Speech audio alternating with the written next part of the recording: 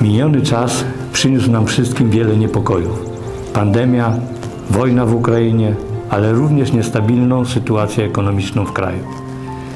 Dlatego pragniemy złożyć Państwu z całego serca spokoju i pokoju na świecie. Niech wielkanocny czas odrodzi wszystko, co dobre, przegoni troski i smutki, obudzi nadzieję na lepsze jutro. Niech dom będzie dla Was zawsze ostoją spokoju, a na stole będzie dostatek chleba. Niech Wielkanoc jednoczy i wzmacnia rodzinę, przyjaciół, najbliższych. Niech w życiu zawsze towarzyszy Wam to, co najważniejsze zdrowie, miłość i bezpieczeństwo. Zdrowych i spokojnych świąt.